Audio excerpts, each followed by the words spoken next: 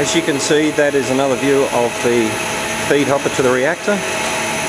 Chris is putting some more material into the pre-dryer unit by the feed hopper at the far end. You can see gas extraction areas, reactor chamber in the distance and in the foreground a combustion furnace.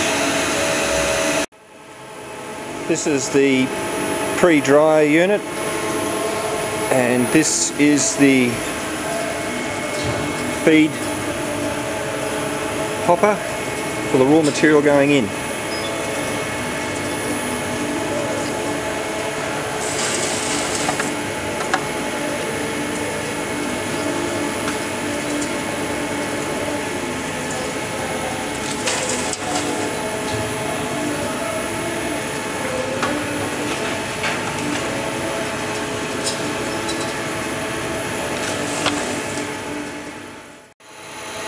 Exit of the pre-dryer unit.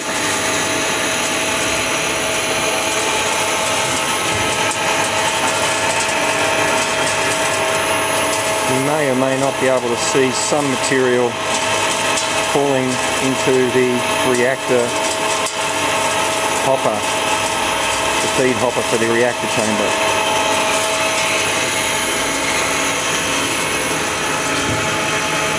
Temperature of the pre-dryer, 151.9. We've got the reactor set at 5, 420 degrees centigrade. We're sitting on 407 at the moment. Back to the reactor unit. We've been going 10 minutes As you can see the char discharge is an enclosed system. We have water jets to cool the char as it goes into the small cut down 44 gallon drum. Air pump to push the gases through the machine from the condensers. We are starting to get some pyrolysis gases. The pilot jet is they're not uh, at the combustible level just yet. Walk around this part of the machine. What you see here are the two condensers taking the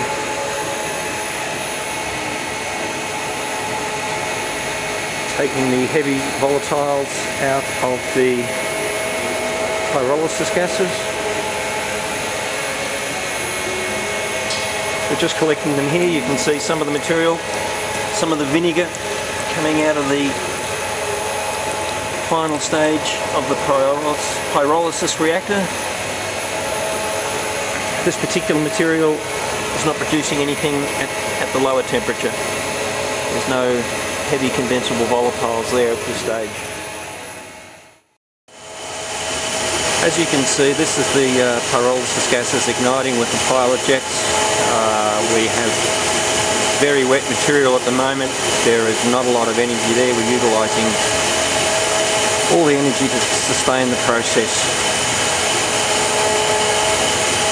There is another view of some almond husks and shells that we did yesterday uh, we'll add that to, to this view to give you an idea of when you have an energy rich material, how much energy you can get out in terms of uh, producing a flame. Thank you.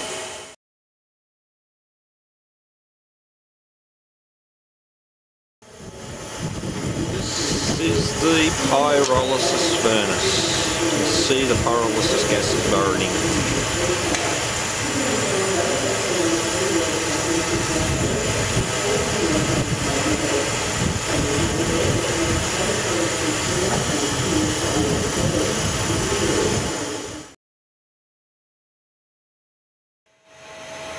This is the flue gas analyzer running on LPG, propane.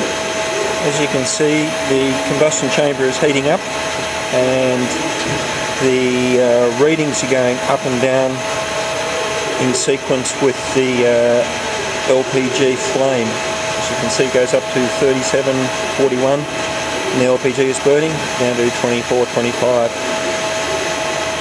when the uh, LPG is stopped.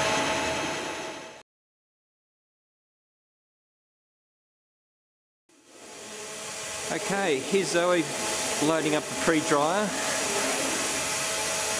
putting in some uh, really powdery poultry litter at this at this point. Uh, you might be able to see the dust and the feathers and so forth coming up.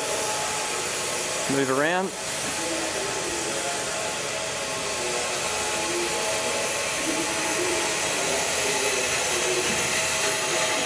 You see the dust coming out from the material very powdery. Maybe you can see the crook feathers floating in the air. Probably not. That's the feed hopper to the main reactor. Workbench. Furnace. Nitrogen tank. Here we can see the gas being combusted.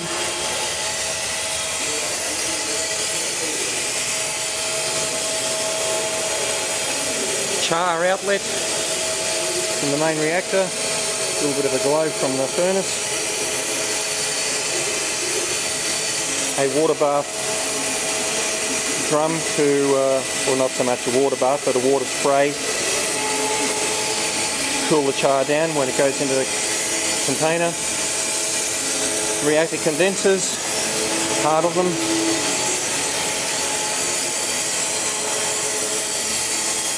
Small turbocharger, another condenser, condensate trap for the material that goes into the exhaust uh, flue. This is the flare which is not running at the moment. We're condensing all the material Sorry about the air compressor running in the background, but that's what drives the uh, little turbocharger.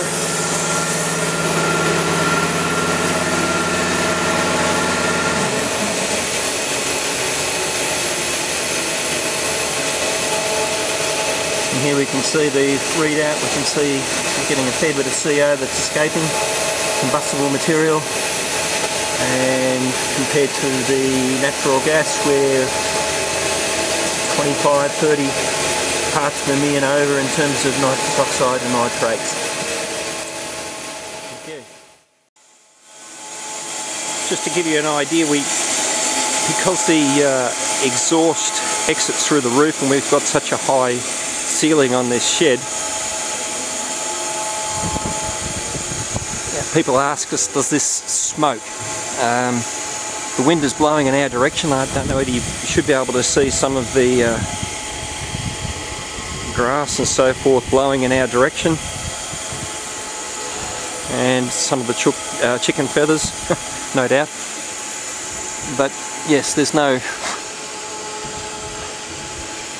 exhaust fumes. Thank you.